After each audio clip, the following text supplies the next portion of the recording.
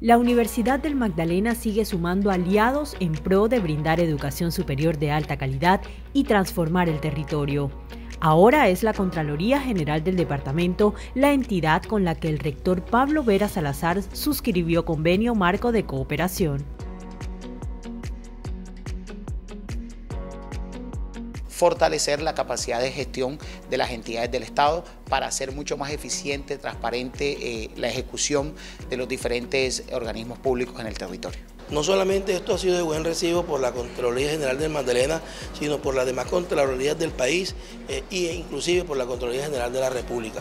Es el momento en que nos dediquemos a estudiar, nos dediquemos a formalizar nuestros conocimientos. Esta nueva alianza trabajará sobre cinco áreas investigación y desarrollo, formación y capacitación, prácticas profesionales, proyectos de extensión y asistencia técnica e intercambio de información y publicaciones. En este camino pues seguimos avanzando en posicionar la Universidad del Magdalena como líder en formación posgradual.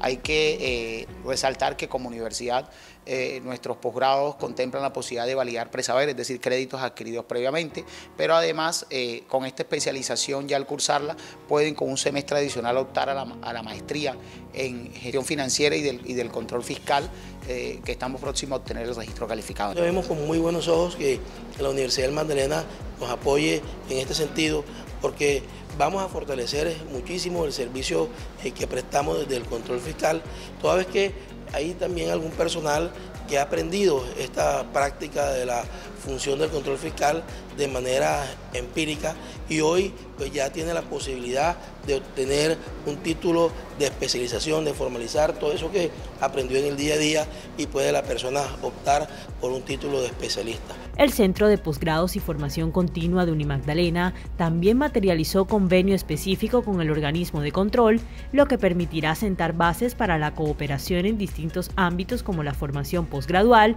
y la validación de competencias por presaberes para todos los funcionarios. Universidad del Magdalena, aún más incluyente e innovadora.